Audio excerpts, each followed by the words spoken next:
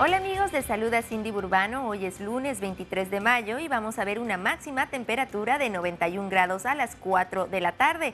Pero vamos a ver cómo pintan las temperaturas para el resto de la semana. Vemos que continuamos en ese rango de los 90 para lo que es el martes y el miércoles.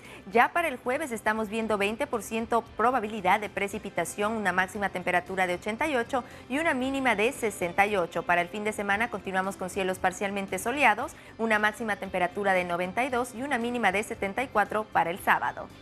Y nos puede seguir escribiendo en Facebook, facebook.com diagonal breves AM. Estamos como siempre al pendiente de todos sus comentarios, ideas y sugerencias. No se olvide de sintonizar breves AM en punto de las 6.24 de la mañana, de lunes a viernes por Telemundo Houston. Nos vemos.